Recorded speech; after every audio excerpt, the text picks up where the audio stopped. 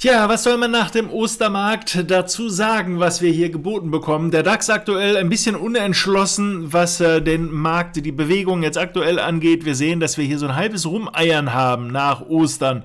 Also ein bisschen tiefer öffnet, dann ein bisschen zur Seite, immer wieder hin und her ziemlich stark schwankend. Das heißt, die Marktteilnehmer haben ehrlich gesagt genauso wenig Plan wie ich, was als nächstes passiert. Man ist äh, nicht bereit, sich festzulegen für eine Richtung.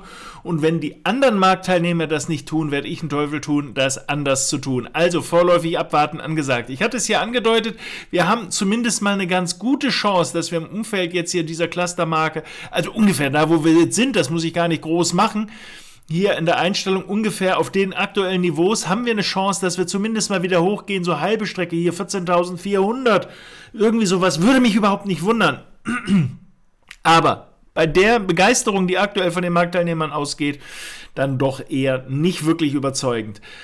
Wie sieht es bei den Amerikanern aus? Wir wissen, dass die Amerikaner ja gestern noch unterwegs waren. Wir haben uns das mal angeschaut, was gestern fabriziert wurde. Also 18., das war noch 14. vorher, 18. ging es dann erstmal hin und her und genauso dieses Hin und Her.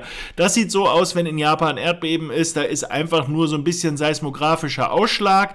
Das heißt, nicht so richtig eine Richtungsentscheidung ist da gegeben. Überhaupt nicht. Das heißt, die ganzen Ambitionen hier führen nach oben. Das ist also jetzt noch keine Ankündigung, dass das passiert, keine Garantie, dass es jetzt vor allen Dingen passiert.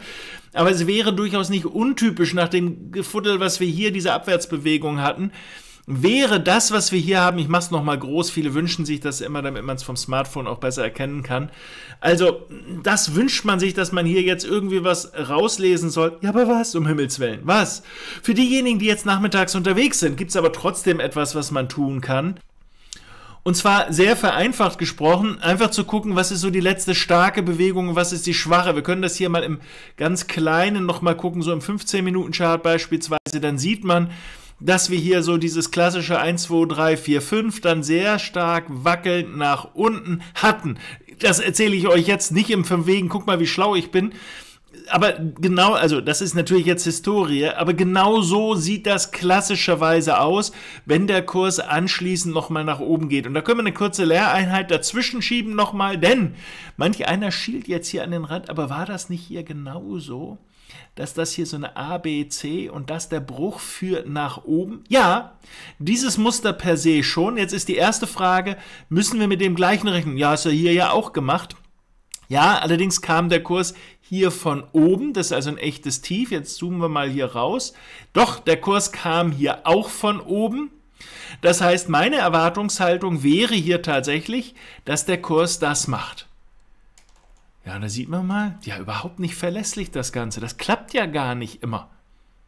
Das ist völlig richtig. Also, wer an dieser Stelle gesagt hat, Mensch, Rüdiger, Jetzt hören wir doch mal einmal auf den Typen hier mit ohne Haare. An der Stelle Long mit der Erwartungshaltung, dass der Kurs da oben hingeht. Das erzählt er uns immer. Ganz genau. Zwei Sachen, die man anmerken muss. Punkt 1 ist, wenn er da oben hinkommt, was wäre der Einstieg? Der wäre ja dann hier. Und was wäre der Ausstieg? Naja, streng genommen eigentlich, wir wollen ja dann keine fallenden Tiefs mehr. Das heißt, wenn wir das hier überwinden, dann können wir den Stop hier hinlegen. Dann seht ihr CRV. Das Chance-Risiko-Verhältnis ist entsprechend gut. Das heißt, ich erwarte gar nicht, dass das immer klappt. Aber wenn es funktioniert, verdiene ich in etwa so viel, wenn es nicht klappt, verliere ich in etwa so viel, dann muss ich sagen, hm, okay, das scheint wohl in Ordnung zu sein. Ein weiteres Indiz, was man immer noch mal im Hinterkopf haben sollte, messt die dynamische Bewegung, diesen Anstieg. Und ideal typischerweise, wenn ihr diese 1 zu 1 Projektion haben wollt, sollte der Kurs erstmal hier reinfallen. Warum? Oder zumindest mal in die, in die Nähe kommen. Aber sind wir mal ganz ehrlich, das ist doch nicht die Nähe und ich habe jetzt schon tiefer gezeichnet, als er in Wirklichkeit war. Also insofern ist das kein guter Einstieg. Also für Long grundsätzlich schon, aber nicht mit der Erwartungshaltung, dass das ewig läuft. Das heißt, wer dann hier versucht reinzukommen, muss auch relativ schnell den Stopp auf Einstieg nachziehen, denn ihr müsst damit rechnen, dass diese Bewegung eben unbekannt ist, wie weit die läuft. Die hätte auch noch zehnmal länger gehen können, aber eben auch nur das Überschießen, das ist ebenfalls ganz typisch. Also ihr seht, die Tücke steckt da manchmal im Detail, ich will es euch aber trotzdem mitgeben, aber für die das jetzt alles zu mühsam ist, zu komplex, könnt ihr euch ganz einfach mal merken, wenn ihr eine Bewegung nach oben habt und ihr sagt, naja, wenn es dann schon wackelig runtergeht, ist ja der erste Test, der erste Schnelltest mal, geht es in etwa in diese Zone rein. Zu tief finde ich auch nicht schön, aber ein bisschen drüber, ein bisschen drunter ist schon mal gar nicht so schlecht. Punkt 2 ist, es sollte wackelig sein, das heißt entweder A, B, C oder aber mit Kursüberschneidung. Das haben wir hier.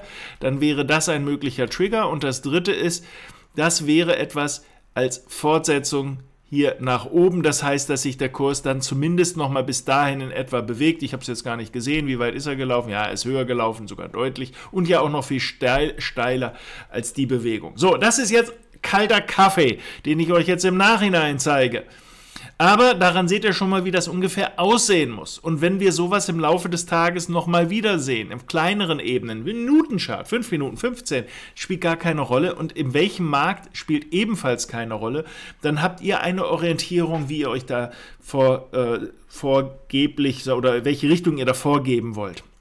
Das betrifft natürlich alle Märkte, sowohl die aktuelle Zögerlichkeit, ihr seht also das äh, ewige Hin und Her und ihr seht, in, in, diesem Moment sind die Ausschläge in beide Richtungen ziemlich ähnlich. Da hat sich der Markt offensichtlich nicht festlegen wollen, was das angeht. Wir können beim 15-Minuten-Chart, ja, da sieht man so ein bisschen, das Bild ist allerdings schöner auf dem äh, Dow Jones gewesen, weil die Korrektur da etwas deutlicher ist. Aber ihr seht schon, das ist etwas, was wir dann heute Nachmittag brauchen. Das ist die Pflichtaufgabe des Marktes, um mich reinzuziehen in einen Trade, dass er irgendwo mal eine starke Bewegung macht, die möglichst unterscheidbar ist von der Gegenbewegung. Nicht so, wie wir es hier haben, wo wir sagen, es geht ja noch steiler wieder runter, das macht ja überhaupt gar keinen Sinn. Also wer jetzt wirklich gesagt hat, da gehe ich nochmal short, okay, auch hier ist es nicht die erste Bewegung, wir hatten vorher schon, also wie tief es weiterfällt, wissen wir nicht, aber zumindest mal eher in die Richtung. Wohlgemerkt muss man allerdings sagen, richtig überschneidend ist das auch nicht. Also ebenfalls keine Trading-Situation.